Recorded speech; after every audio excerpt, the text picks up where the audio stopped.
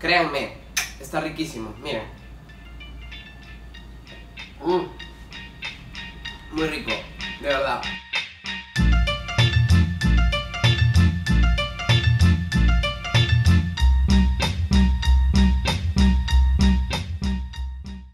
Hola amigos, bienvenidos a un nuevo video. ¿Cómo ha estado? ¿Cómo se encuentran su semana? Bueno, yo cumpliéndoles, trayéndoles un nuevo video después de un poco de tiempo del último video que subí sobre la laptop, que por cierto le está yendo muy bien. Muchas gracias a todas las personas que lo han visto, a las personas de México, de Guatemala y de Colombia. De verdad, un saludo acá desde Perú. Pero bueno, centrémonos en este video.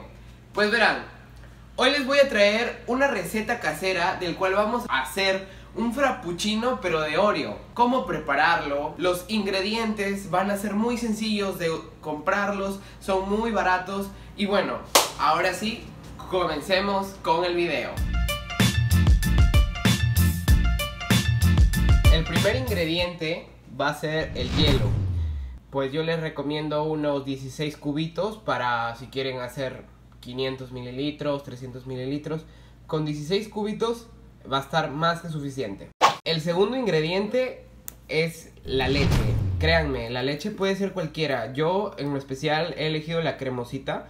Lo estarán viendo aquí. ¿Por qué? Porque la cremosita le da un sabor más rico a las cosas que se preparan con la leche, créanme. Yo, bueno, la elegí esta, pero ustedes pueden escoger la que ustedes quieran. Yo no voy a por marcas. Con un tarro es más que suficiente.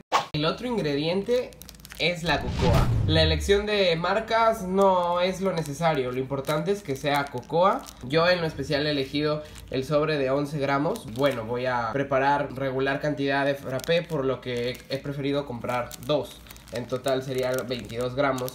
Creo que es más que suficiente y necesario para una familia extensa, pero si ustedes solamente viven solos o de 3 a 4 personas, pueden hacerlo de un solo sobre siguiente ingrediente va a ser el café. Yo tengo el café para pasar. Voy a poner unos 50 mililitros a 30 mililitros para la preparación porque vamos a darle un sabor cafezudo al frappé. Y claro, no podía faltar el ingrediente principal de todos que sin él no se hubiera podido hacer es la Oreo. Yo bueno, he escogido esta de aquí. Es la presentación regular. No sé si verán es de 126 gramos, vienen 12 Oreos. Si son una pequeña familia, pueden escoger el paquete pequeño. Y si son una familia extensa, podrían escoger el paquete más grande que viene. Aquí van a ver la presentación grande que viene de las galletas Oreo. Eh, tiene que ser el sabor clásico. Y el último ingrediente es el azúcar. Vamos a utilizar solo una cuchara de sopera, nada más. Habiendo puesto todos los hielos, vamos a proceder a poner la leche. Yo como actualmente me encuentro solo, vamos a poner un poquito para no desgastarlo, solo un poco. Algo de 300 mililitros, ahí es más que suficiente. Luego de eso vamos a poner el café, como les dije solamente es un poco, 30 mililitros, más que suficiente para que les dé un sabor cafezudo. Recuerden, no utilicen mucho. Habiendo puesto ya todo ello, vamos a poner la cocoa por el cual, como repito, actualmente me encuentro solo, no voy a servir para toda mi familia. Vamos a poner solamente un poco de cocoa.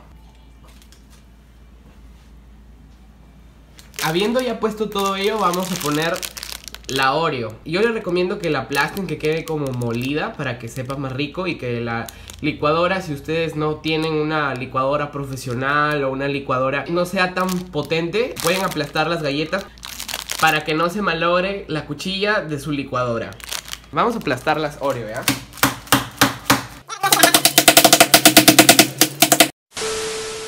Y ya molido toda la Oreo, vamos a, a ponerlas en la licuadora.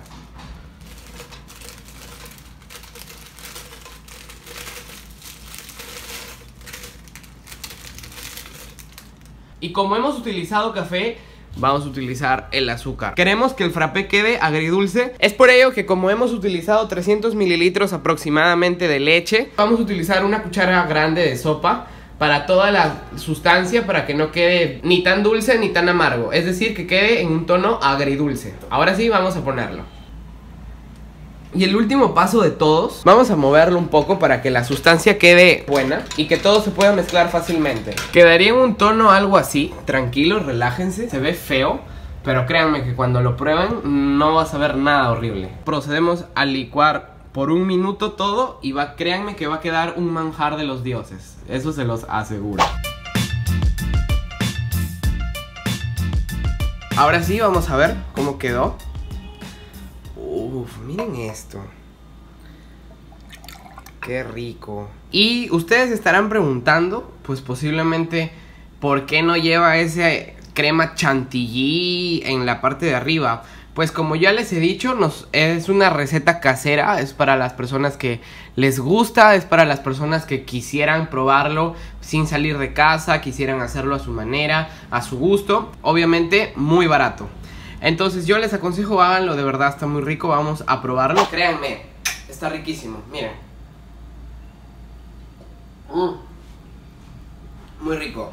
De verdad. Muy bien amigos y con esto llegamos a la parte final del video. Espero que les haya gustado, que les haya servido. No olviden suscribirse, denle like y compártanlo con todos sus amigos para que tengan esta receta y disfruten de este manjar. Y con esto nos despedimos. Hasta la próxima.